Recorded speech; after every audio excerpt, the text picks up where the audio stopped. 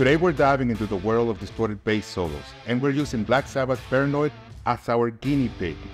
This track is a perfect canvas for showcasing the power and versatility of the distorted bass.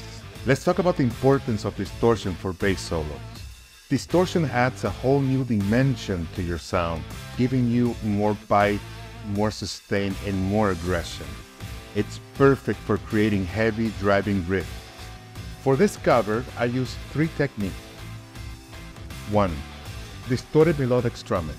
This technique involves playing a series of notes using a distorted tone, focusing mainly on the melody. 2. Tapping. I use tapping to create complex melodic lines. And number 3.